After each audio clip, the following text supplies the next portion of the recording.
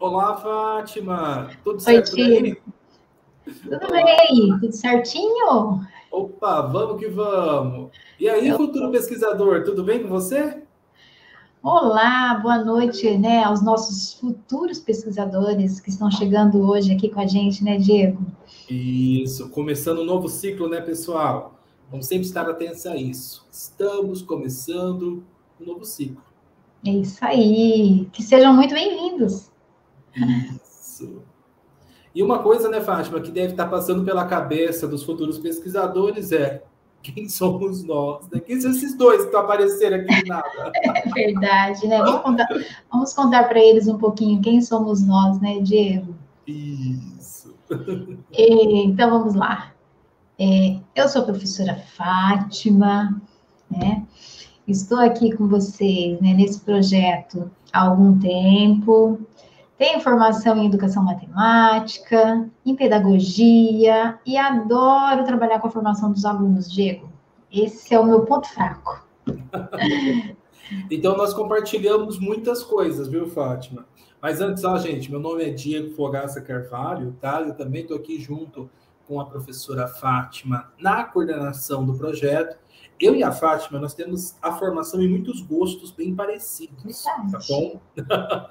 também sou formado em matemática, também sou formado em pedagogia e tenho também as minha, meu estudo de doutorado na área de educação matemática, uhum. certo? E a formação do aluno, né, Fátima? Principalmente em relação à pesquisa, é o nosso xodó, né? Nós adoramos uhum. ver como que a, a, pesquisa é capaz de transformar o aluno, de transformar a visão do aluno é, em relação à compreensão do mundo em que ele vive. Com certeza, né? Quando eles chegam, né, nesse primeiro momento, né, como eles estão chegando aqui agora, e como eles saem, né, daqui a, né, daqui a um ano, daqui a seis meses, isso é o que mais gratifica, né, mais nos gratifica nessa formação, nesse grande projeto. Isso mesmo. E falando agora sobre o projeto, Fátima, eu acho que hum. cabe a gente pensar um pouquinho sobre o que é essa sigla que a gente vai ver aqui sempre, PICT. O que é PICT, Fátima? PICT.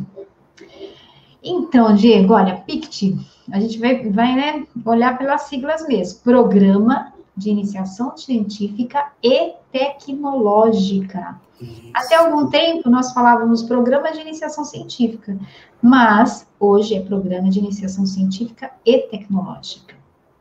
Mas vamos contar para eles de onde vem esse programa, Diego? Então, eu acho que é muito importante né, pensar um pouquinho que, para que uma universidade, uma instituição seja universidade, uhum. ela tem que ter o quê? A tríade ensino, pesquisa e extensão. Então, a universidade, ela tem que desenvolver pesquisa. E é um desafio para nós envolver a graduação na pesquisa.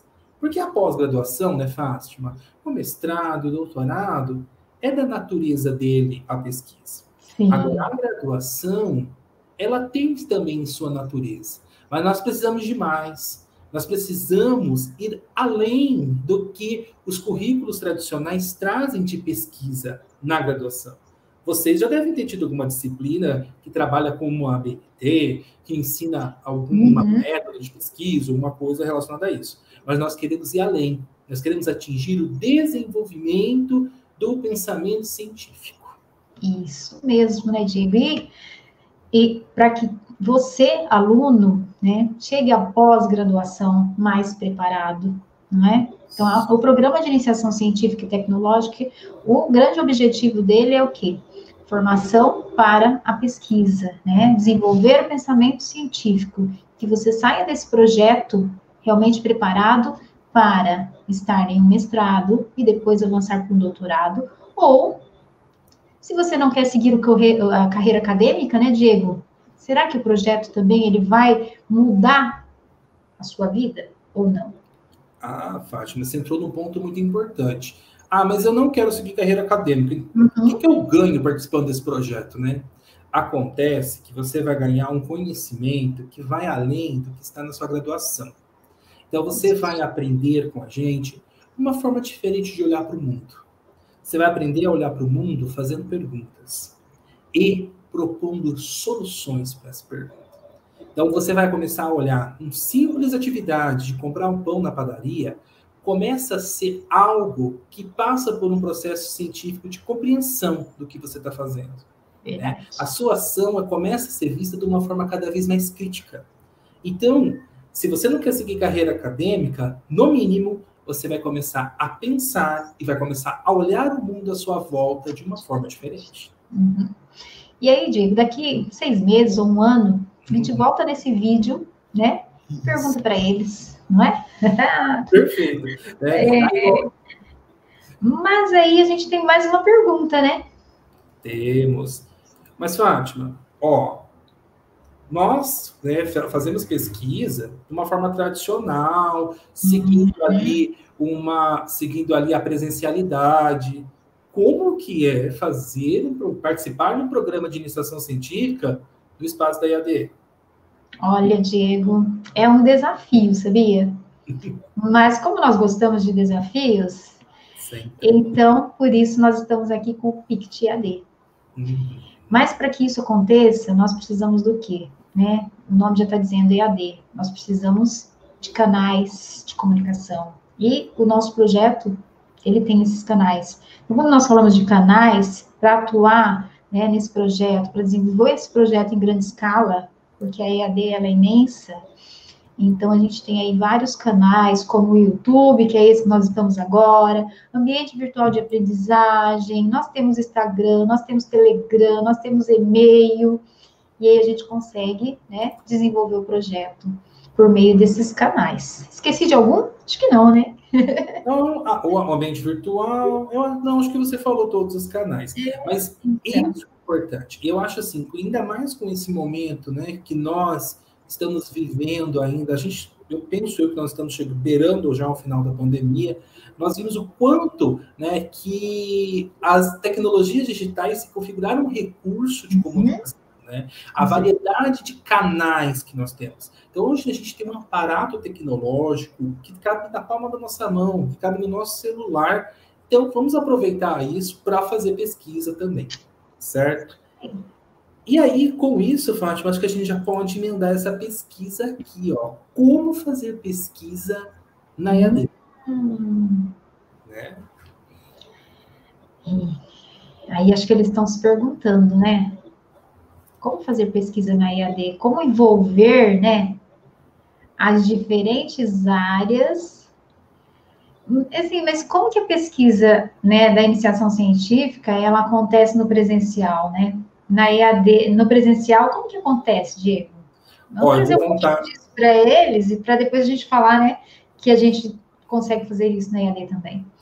Olha, eu vou contar então como que acontece na, no presencial, que é um modelo tradicional, né, que vem desde a década de 30 aí sendo utilizado nas universidades. Então você tem um orientador, né, você tem um professor orientador e você realiza junto com esse orientador um projeto. Então, você tem um projeto vinculado ao orientador. Esse projeto pode estar, sim, vinculado a mestrados doutorados, mas ou não necessariamente, tá? E você trabalha sobre a orientação desse professor. Então, ele vai te dar, ele te passa material para você ler, ele te pede alguns resumos, ele trabalha com você, às vezes, a entrada em laboratório ou não, ele te ajuda na coleta de dados, é, ele também te ajuda na análise desses dados, na produção de artigos, participação em eventos e etc. Mas agora nós estamos na EAD. EAD. Ou seja, como que nós vamos, Fátima, trazer essa questão para o espaço da EAD? Uhum. E aí, Diego, nós vamos trazer em um único projeto, mas ah. um projeto amplo, tá? Que ele atende a todas as áreas, quando nós falamos todas as áreas, todos os cursos, todos os alunos, né? Todas. Então, deixa, deixa eu ver se eu entendi. Ó, lá no presencial, a gente tem um projeto bem pequenininho, bem específico do orientador Isso. que o aluno realiza. Então, no PIC-AD, agora a gente vai fazer o seguinte: não, não é cada um que vai mais seguir um projeto. Todos vão seguir um projeto maior. Olha que interessante, uhum. Fátima. Muito bem. Isso, e esse projeto ele vai atender todas as áreas. Ah, mas ele deve estar tá pensando, puxa vida, eu sou de engenharia, engenharia. Ah, eu sou lá da, da, das ciências contábeis. Como que eu vou fazer para participar de um projeto desse? Eu quero pesquisar no meu curso. É, ou eu quero pesquisar na minha área de conhecimento. Na minha área? Uhum. Mas então. Agora vem então uma próxima pergunta: como a gente vai envolver essas diversas áreas do conhecimento num projeto único? E aí, Fátima, eu acho que eu vou lançar um desafio. Quero que agora você pense um pouco sobre o que une todas essas áreas do conhecimento. O que une esse projeto que hoje você está vivenciando aqui junto com a gente. Tem um elo que nos perpassa, nós todos aqui. Uhum. E, a, e, nós já colocamos ele, né, Fátima, num monte de sigla aqui. já está aqui. Já está aqui, né? Qual que é, Fátima? Vou falar para eles, é um, é um, título que eles não podem esquecer, jamais, né? É, não pode. A formação do aluno de graduação no sistema de ensino EAD. EAD. Né? Então, pessoal, vocês têm a EAD como sendo um elo de ligação. Vocês todos optaram por um sistema de ensino EAD. É, e esse sistema, para todos, então, independente se você vai se formar um engenheiro, se você vai se formar um enfermeiro, se você vai se formar um contador, um professor de matemática, um professor de história, todos passam por um sistema de ensino EAD. EAD. Então, nós tomamos nesse projeto único, único, né, esse sistema de ensino que você vivencia. Vamos falar um pouquinho sobre a maneira que você estuda, sobre as impressões que se tem uhum. ao aprender nesse sistema. Eu acho que isso é interessante. Compreender como que eu me formo, como eu me constituo um profissional dentro desse sistema. Do sistema. Uhum. E aí a gente pode trazer várias discussões, né? Tecnologia, né? avaliação, currículo, mediação. Então, veja como é amplo, né? Não, e ainda a gente pode pensar na formação do professor, na formação da tutoria dentro desse sistema, né? que é uhum. diferenciada, não vai seguir as mesmas normas do presencial. Uhum. É isso aí, Diego. Então, a gente vê aqui, né, Fátima, uma, uma vastidão de possibilidades onde a gente consegue integrar todas as áreas do conhecimento em um único projeto. Só que esse projeto, além disso, nós precisamos o quê?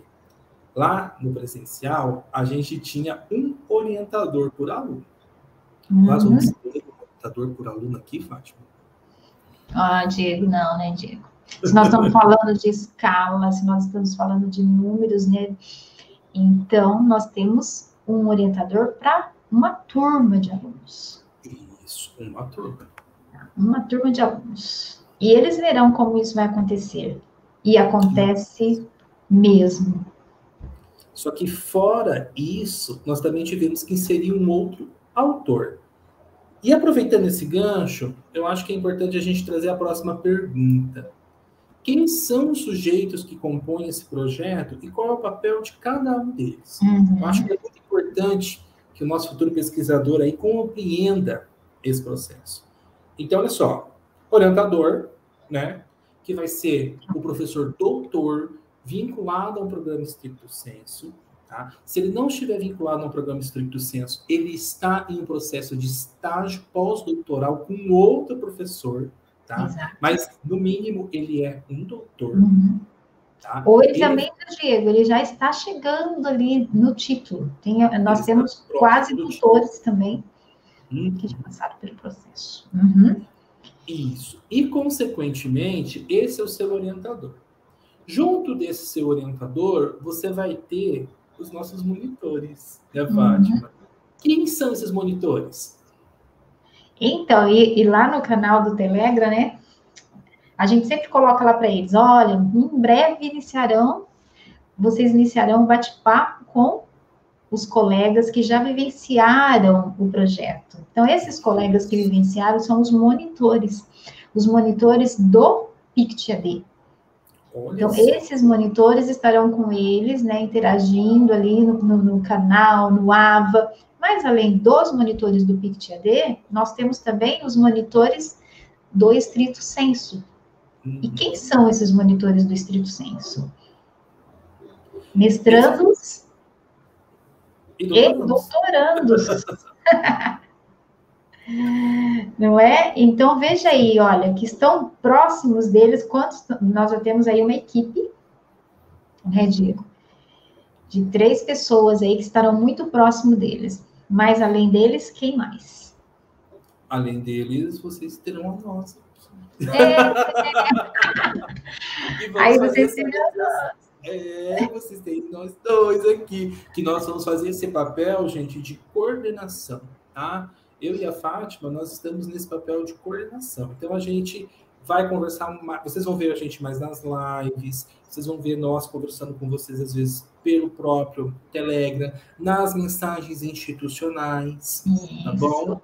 Nos plantões, tira dúvida. Olha aí, esses é, plantões é muito legal, viu, gente? Plantões tira dúvidas, né? Eles acontecem semanalmente. Depois a gente vai, né, vai contar mais em detalhes para vocês.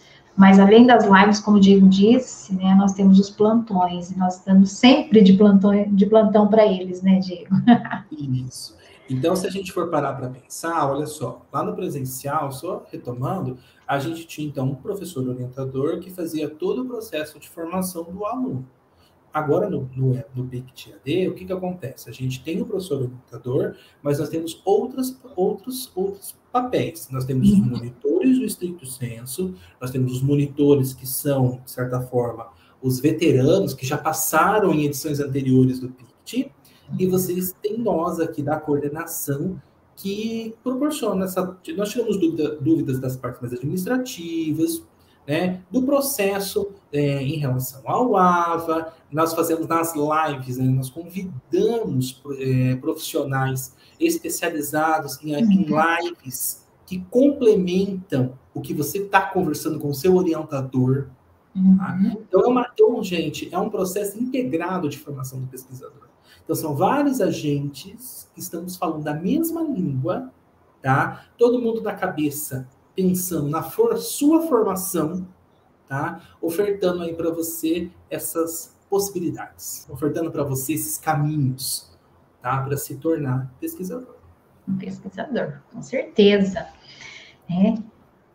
E aí a gente ainda tem mais perguntas. E aí a gente pode pensar agora qual é o papel do nosso futuro pesquisador.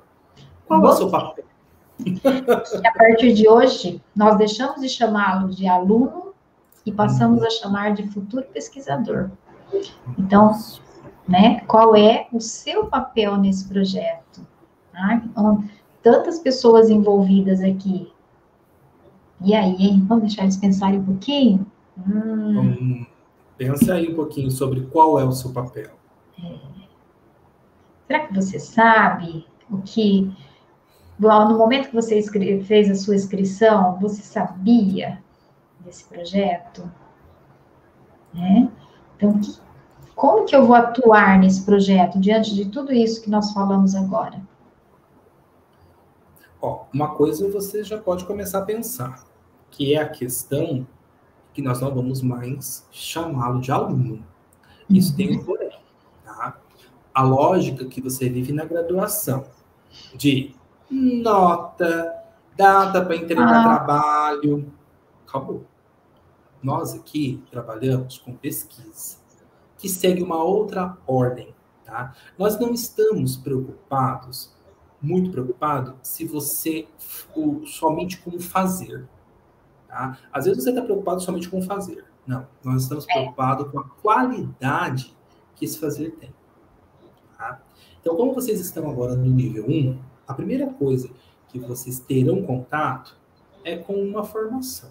Tá? Vocês precisam entender esses princípios básicos do que, que é a pesquisa. Primeiro, o que é a pesquisa? Tá? Isso, essas primeiras coisas que vocês vão, vão aprender aqui com a gente. Então, a gente vai ter no ambiente virtual, né, Fátima, cursos. Cursos, aonde que você vai começar a compreender como que se dá a lógica da pesquisa que nós já adiantamos, vai ser diferente da lógica da graduação. Completamente, né? Então, é, quando o Diego fala, né, você falou do AVA, tá? Então, o AVA é o nosso, é um dos nossos canais de comunicação, de interação, né? Que nós falamos lá. Lá no AVA você encontrará né, as atividades, uma parte das atividades. Então, o AVA vai ser disponibilizado para vocês em breve, tá? Login e senha, e lá vocês vão encontrar os cursos. Tem cursos interessantes, né? tem lives, tem tudo que, que nós fazemos aqui vai para o AVA, né? Essa live que vocês estão vendo aqui agora, daqui a pouco ela vai para o AVA. Mas além do AVA, Diego, nós temos outros canais que a gente já falou lá em cima, antes para eles, né? Tá? E esses canais também, eles são de interação e orientação. Então, hoje eles já receberam uma atividade lá no Telegram, uhum. né? Então, já tem atividade lá para eles fazerem essa semana, tá? E que mais que a gente tem? Ah, e onde que acontecem os encontros com o orientador? no Microsoft Teams, tá bom? Então vocês vão utilizar o Microsoft Teams, tá? Que boa parte, eu creio eu, que já estão familiarizados aí, né? nós temos várias atividades dentro da graduação que acontecem por essa plataforma, tá? Então o Teams ele vai ser o nosso recurso do quê? Do cara a cara com o, com o orientador, uhum. tá bom? E os plantões, eles são feitos de duas formas nós realizamos o plantão no Teams e transmitimos no YouTube o Teams, tá? Uhum. A gente faz essa dobradinha aí, porque às vezes o Teams pode estar muito cheio, e aí a gente tem o YouTube, então, aí como um recurso auxiliar para que a gente possa fazer esse plantão aí com vocês. Então, tem vários, né? Várias possibilidades aí. Tá? Ó, vamos pensar, ó, a gente vai ter, então, o ambiente virtual, que não é o mesmo ambiente virtual da sua graduação. Uhum. Nós temos, nós temos o grupo do Telegram, tá? Nós temos o YouTube e nós temos o Teams. E nós temos ainda a nossa rede social. Opa, nós estamos no Instagram. Ah, e já vamos falar com o pessoal o seguinte. Nós, vocês terão um evento tá? no final do, do semestre, do, no caso do PICT. E você tem que ter um Instagram para divulgar o evento. Então, se você não tem Instagram, a gente já vai falar o seguinte, ó, faça um Instagram só para divulgar o evento. Você não precisa postar foto tudo. Você não precisa é, colocar a sua intimidade, o seu dia a dia ali, se você não gosta disso. Mas não precisa. Mas cria esse Instagram para divulgação do evento. Porque o que adianta fazer pesquisa, né, Fátima, se você não divulga? Não divulgar pesquisa, não é, Diego? Isso é uma coisa super importante, né? Porque ele, nós estamos falando de, de, de cursos, de lives, de plantões, de orientação, mas esse nível 1, ele tem uma produção ao final. E qual é essa produção? Como eles saem aqui do nível 1 para avançar para o nível 2? Então, junto com seu orientador, você vai produzir em grupo, tá? Essas atividades são feitas em grupo, um resumo expandido, tá? E esse resumo expandido, ele está relacionado com os estudos que são feitos no PICT, junto com o seu orientador. Uhum. A gente tem as temáticas. Depois, quando vier o regulamento do evento, vocês encontrarão as temáticas. E junto com o orientador, vocês irão produzir esse resumo expandido. E ao apresentar o resumo expandido no evento, você tem que comunicar à comunidade, tem que falar para as pessoas: olha, eu fiz um estudo, aqui está o meu artigo, venha me prestigiar a minha apresentação. Então, isso é de extrema importância. Por isso que nós estamos fazendo. Desde que a ciência, passando por compreensão do pensamento científico, até chegar na produção do resumo e a divulgação desse resumo. Mas, Fátima, espera aí. Nós também teremos algumas atividades relacionadas diretamente à pesquisa ou nós vamos ficar somente nessas atividades que estão no AVA? A gente tem hum, diversas atividades. Por enquanto, nós temos as atividades do AVA, as atividades com orientador, né? E a gente, nós teremos uma atividade a campo. Hum. Né? O que é isso, né? Uma pesquisa de campo. Eles aprenderam, né? Eles vão aprender também o que é uma pesquisa de campo, como eu vou coletar dados. Porque até então nós estamos falando como vai ter produção científica, né? Cursos, mas você vai chegar no momento que você é o, será o participante da pesquisa, ou seja, você está conosco aqui participando da pesquisa, mas vai ter um momento que você também se, né, vai vivenciar o papel de pesquisador. Isso. Daí também é muito importante. Por quê? E assim, muitas pessoas às vezes podem achar, ah, mas vocês estão utilizando a gente como cobaia. Não, não é isso. A gente, nós não estamos interessados nas respostas que vocês vão nos dar. Mas nós estamos interessados em validar o instrumento com vocês. Então, no primeiro momento, esse instrumento é um instrumento construído pela equipe de pesquisadores, tá? Só que o instrumento ele precisa passar por um processo de validação. Não podemos aplicar um questionário de qualquer jeito, gente. É necessário validá-lo. Então, esse instrumento, num primeiro momento, vai ser aplicado a vocês. Vocês então irão responder. A partir desse momento, ainda como participante. Com as respostas que vocês derem no instrumento, a gente vai avaliar o instrumento. Nós criamos critérios. Por exemplo, uma questão, para que ela seja considerada válida, ela tem que ter entre 20 até 80% de acerto. Uhum. Se tiver menos que 20%, e se tiver mais que 80%, essa questão não diz nada. A gente tira ela fora, ela tem problema. E a gente também começa a ver que às vezes uma palavrinha que a gente colocou está levando você a marcar aquela questão pela palavrinha. A gente consegue pegar esses, eh, vamos pensar assim, esses deslizes. E isso a gente vai validando o instrumento. E depois de ter o instrumento validado, Fátima, o que, que nós vamos fazer? Aí sim, né? Aí sim, ele será o pesquisador. É, o nosso futuro pesquisador, ele vai, ele vivencia. Então, ele vai convidar um colega ou mais, tá? do curso um. dele ou de outro curso, desde que seja da mesma instituição, né? Ou para o Uniderp, para participar da pesquisa dele, para responder o questionário dele. E aí sim ele estará coletando dados. Isso. Só que eu acho que cabe já dizer para vocês. Nós estamos no nível 1. A análise Isso. de dados é para o nível 2. Tá bom? Então você vai aprender com a gente aqui no nível 1 a coleta. A entender o instrumento, a validar o instrumento e também a coleta desses dados. Aí a análise fica para o nível 2. Certo? Ô, Diego, Fátima, Oi? Mas tem mais uma coisinha que ele deve estar tá pensando. Como que eu vou escrever meu resumo expandido, então, se eu não vou analisar os dados? Ah. Mas será que tem só pesquisa de campo? Não, nós temos pesquisa bibliográfica. Uhum. Acontece que para compreender um dado da realidade, uma resposta que uma pessoa dá para nós, nós precisamos de uma fundamentação teórica. Se nós ficarmos sem fundamentação teórica na leitura desses dados, então vão ficar no senso comum. Isso é a mesma coisa de discutir religião, de discutir é, time de futebol. Não vamos sair muito do lugar. Né? Então, o que é importante nesse momento? Também construir esse olho teórico.